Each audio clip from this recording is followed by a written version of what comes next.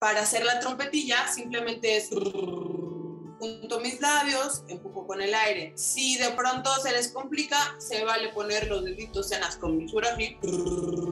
O si no sale de ninguna forma, R con boca de U. Y lo mismo. medio tono. Y no tengo piano, sin piano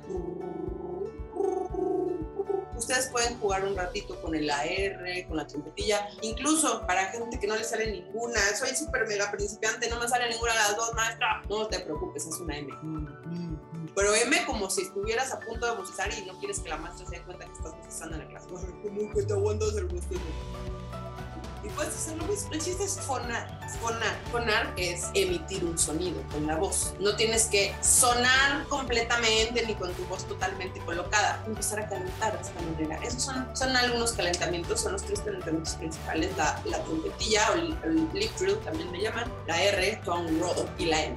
Son, esos tres son buenísimos para calentar, para, para, para hacer algunos ejercicios de calentamiento. Digo, hay que, hay que enseñarles bien cómo se deben hacer, etcétera, pero pues básicamente son esos. Igual en el curso vamos a ver más a fondo cómo se hacen, qué diferentes ejercicios podemos hacer, cómo podemos vocalizar con ellos. Si yo no sé tocar, cómo le hago, eh, qué herramientas puedo utilizar. Hay pianos virtuales, hay aplicaciones para cantantes. Les voy a hacer varias recomendaciones en el curso exactamente para que puedan eh, resolver ¿no? y que puedan hacer todos estos ejercicios sin mayor problema. ¿no? Pero bueno, seguimos por acá que estamos, estamos muy aquí de, muy participativos. La verdad, qué gusto, qué gusto verlos que están con, con tantas inquietudes y podemos podemos platicar y compartir todas estas dudas. Espero que realmente les estén sirviendo mis respuestas, que les estén ayudando a, pues salir de, de, estas, de estos cuestionamientos que tenían. Y pues bueno, eh, por acá continúo con las dudas de los demás. Me comenta por ahí Brenda. Brenda, ¿cuál es el tiempo ideal para practicar en el día a día? He escuchado que a veces practicar demasiado también le puede hacer daño a la voz. Muy cierto, Brenda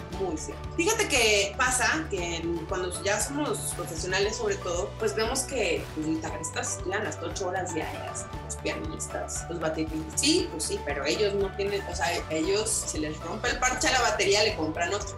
Si se les rompe la cuerda a la guitarra, también le compran otro. Si a nosotros se nos rompe la cuerda, ya vale. Entonces hay que tomar en cuenta eso. Sí, cuando quiero ser... Eh, cantante profesional, definitivamente tengo que estudiar todos los días sin excepción, todos, lo, que se dice, todos los días sin excepción. Pero no puedes estudiar ocho horas seguidas, porque, o sea, físicamente hablando, más que mejorar tu técnica, te vas a desgastar y te vas a terminar dañando. El canto se debe de modular un poquito en ese sentido, ¿no? Lo tenemos que eh, hacer tal vez con un poquito más de moderación. ¿A qué me refiero? Se puede estudiar todas esas horas, pero no las ocho horas O sea, puedes estudiar técnica de respiración, puedes estudiar de, de, lo que es ejecución de técnica de vocalizaciones y esas cosas, unas 35, 40 minutos, más 15, 20 minutos de repertorio. estamos hablando de una hora, hora y media, dos horas máximo de tu uso de la voz tal cual